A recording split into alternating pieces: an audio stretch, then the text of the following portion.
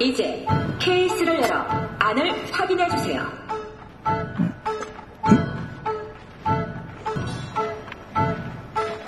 동그라미? 두 번째 게임은 설탕 뽑기입니다. 선택하신 모양은 여러분이 뽑아야 할 모양입니다.